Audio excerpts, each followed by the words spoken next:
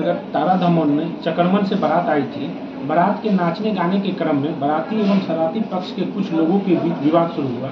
जिसे बीच बचाव कर शांत करा दिया गया। इसी विवाद को लेकर शरारती पक्ष के की ओर से सम्मिलित कुछ लोगों के द्वारा तारा धमोन से जब बारात खाना खाकर वापस लौट रही थी तो लौटने के क्रम में घाट लगाकर बाँस डंडा से मारपीट की गई, जिसमें एक व्यक्ति शिव शंकर राय पेशर गंगा विष्णु राय, साकिन बिशनपुर पहाड़पुर थाना पटोरी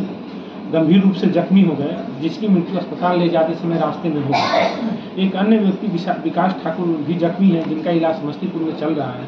इस घटना में सम्मिलित अभियुक्तों की पहचान प्राप्त वीडियो और फ़ोटो के आधार पर कर ली गई है और उस आधार पर छापामारी शुरू कर दी गई